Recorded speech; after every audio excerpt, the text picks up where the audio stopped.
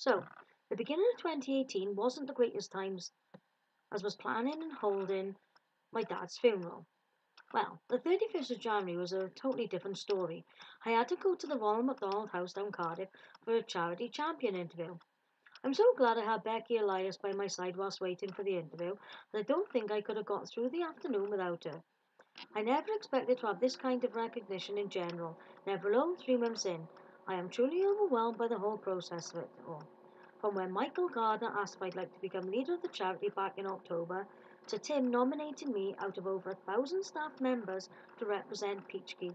It didn't matter to me if I, I wasn't successful enough to be chosen to go for the interview, as in my eyes, being the first crew member to be nominated was a massive achievement alone and was rewarded enough being recognised by our supervisor. I was blown away when I was chosen, but I generally thought Becky was winding me up. I didn't win the award, but I did receive a certificate and a champion pin which I will wear with pride. Whilst the three business managers were having their interviews, myself and Becky, along with two other ladies, had a tour around the house. I obviously knew where the money raised went, but to see where it went and how it's used is something else.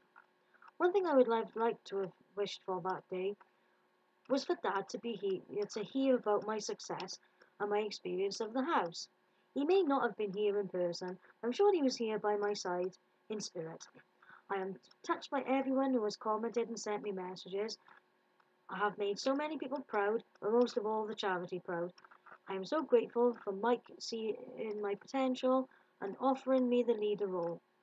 I would like to thank everyone who has supported me so far by buying my bookmarks, by buying my calendars, buying my placemats and door signs.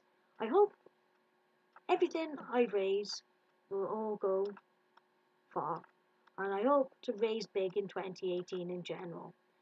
Anyway, please watch this space, as all my events will now also be videoed, okay? My next event is Brave the Shave, which at the moment I am overwhelmed by people just to even say they're going to sponsor me. But, yeah, well, anyway, looking at my statistics, since I become leader in October, I have banked so far £241.47.